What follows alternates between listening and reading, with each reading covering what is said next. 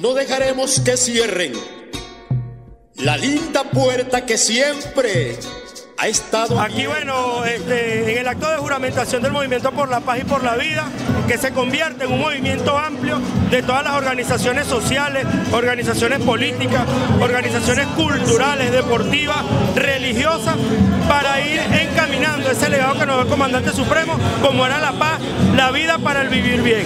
Para esto, bueno, se han realizado unas acciones eh, a nivel de calle con nuestro poder popular.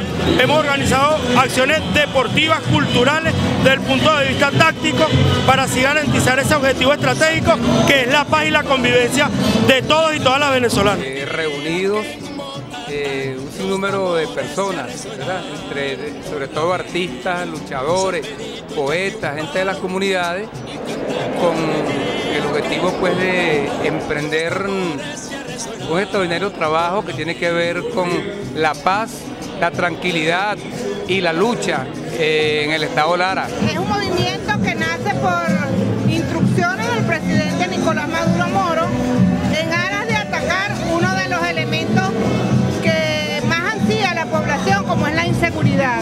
Pero la inseguridad no es solo eh, trabajarla a nivel de lo que puede, puede llamarse como los cuerpos de seguridad. Nosotros creemos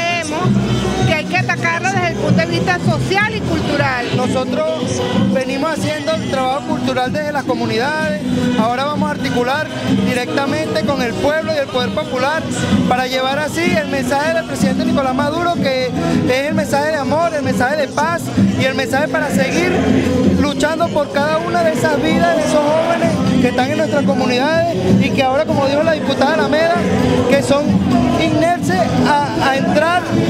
colectividad, porque sí se puede. Ahora nosotros como, como colectivos culturales y movimientos sociales, nosotros estaremos apoyando desde nuestra base todo lo que tiene que ver con la difusión y la colectividad en lucha de un sentimiento social que es por la paz y por la vida.